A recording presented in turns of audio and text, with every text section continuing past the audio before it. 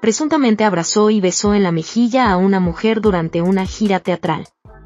El veredicto final se conocerá el 15 de marzo. La Fiscalía surcoreana pidió hoy un año de cárcel para el veterano actor Oh Jeon-soo, conocido globalmente por su papel de concursante anciano en la exitosa serie El Juego del Calamar.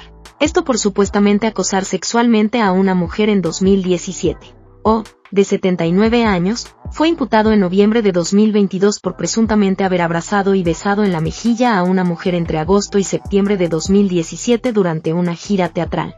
En la audiencia que se llevó a cabo hoy en un tribunal de la ciudad de Seongnam, al sur de Seúl, los fiscales pidieron un año de prisión y que se le impida trabajar con niños o adolescentes. Oh, ha negado insistentemente los cargos, dijo en la sesión de este viernes sentirse dolido y estar sufriendo por tener que someterse a un juicio por cosas así a una edad tan avanzada. Según informa la agencia John Hub, el veredicto sobre el caso en torno al actor, que ganó el Globo de Oro en 2022 a Mejor Actor de Reparto por su rol en la reconocida serie, se dará a conocer el próximo 15 de marzo.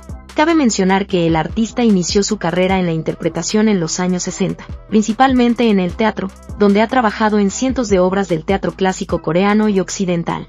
Ante de tener papeles puntuales en cine o televisión pasó a integrar después la Compañía Nacional de Teatro de Corea.